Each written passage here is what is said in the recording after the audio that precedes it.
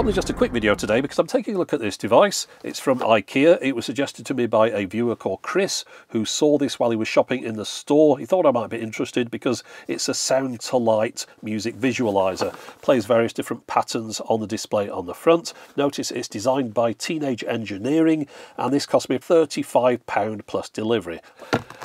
Let's just get it out and see what we can do with it. Now looking through these instructions it appears the device has a built-in microphone, the audio comes from elsewhere, you don't have to plug it directly into the cube. And there are a total of seven different animations that you can cycle through. And there's a lot of emphasis placed on attaching these together so you can have a, a row of them. I don't think they communicate with each other because looking at it we've just got the main power lead here and then this one to daisy chain them and it will just go from the out on the top into the input on the next. It says at the bottom here you can chain a maximum of six of these units together. Now at £35 a piece that of course adds up quite a bit so let's see what one looks like on its own before we commit to buying any more. Right let's plug this one in and see what it does. Okay here we go. Ah, oh that's responded already. So on the back here, we've got a power button. Let's just see how that works. Is it a momentary push switch? Yes, it is. So let's play some music.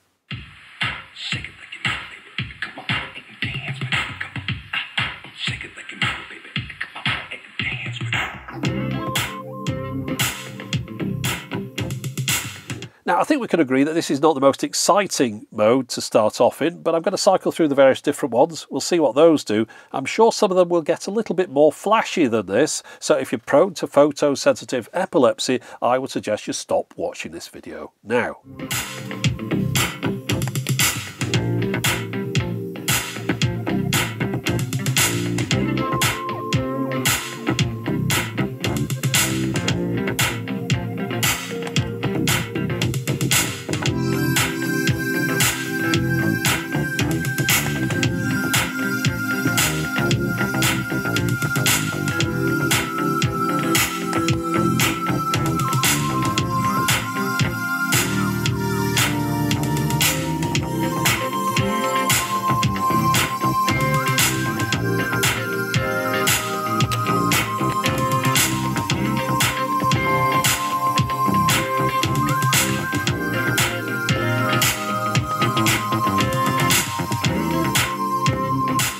Okay, so you saw all the different modes there. I don't know what you think, but I'm pretty disappointed.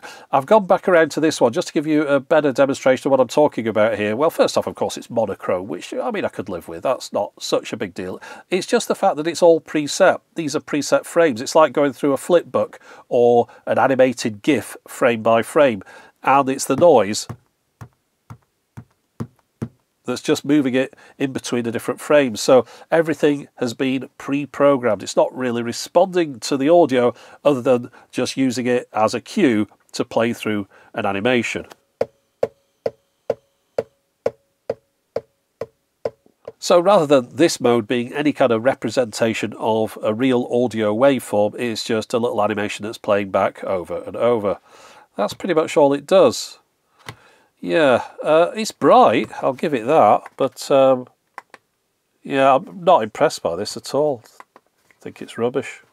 Now this range of IKEA products have been available in other countries for quite some time now and I don't know if there's any kind of modding community built up around them.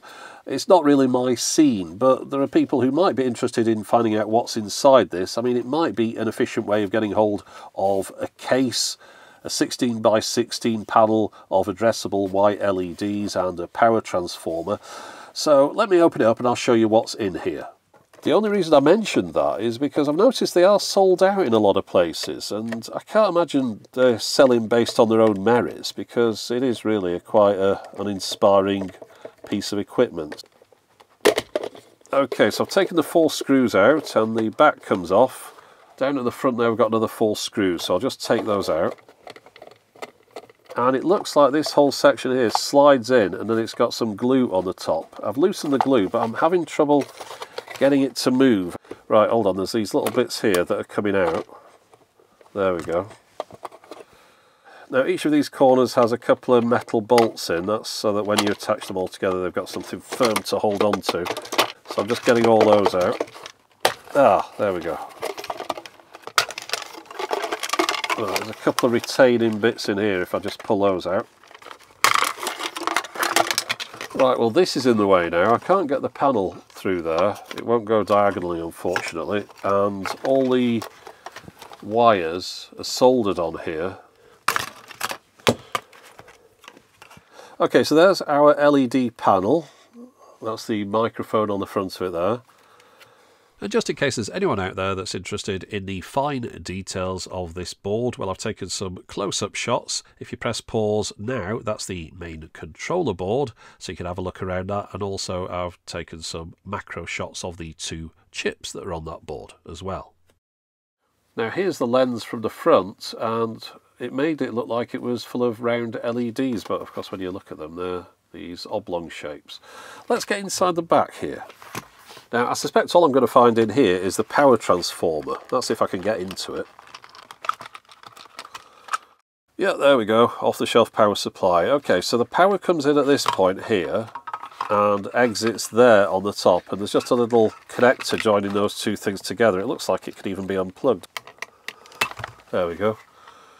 Right, well that's what remains of the case now the innards have been removed and you can see there are quite a lot of components in here and the construction was really quite solid. It took quite a bit of cutting to get some of these things out so you can see it's a destructive process removing these internals. However, here's what you get once all that casing has been removed and these components really aren't of a poor quality. What really lets it down are these animations. They're so limited as to be uninteresting and that arrow being off centre is rather annoying. They could have done with a double line down the middle. But uh, yeah, I can't recommend this at all, and I wouldn't recommend it as a way to get hold of these components. I'm sure if you went onto any electronics components store, you'd be able to assemble these things together cheaper than you would buying this whole thing from IKEA. So yeah, there's no real merits to this one. It's just such a such a missed opportunity, I think. Hopefully they'll try again in the future and just put something a little bit more interesting on that controller card. But anyway, that's it for the moment. As always, thanks for watching.